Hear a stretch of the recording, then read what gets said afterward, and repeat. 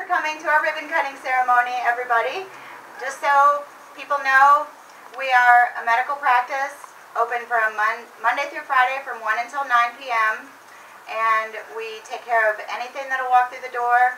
We don't take insurance, and we're hoping to see lots of people to take care of. Thanks for watching. We're here on Wade Hampton Boulevard. Come check out Family After Hours practice here and join these folks and welcome them to the Greer community.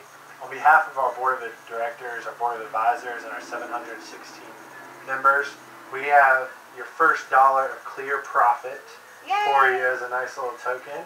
And uh, I'll hold on to this while you cut this ribbon, All right. and we'll officially be ready to roll. Thank you.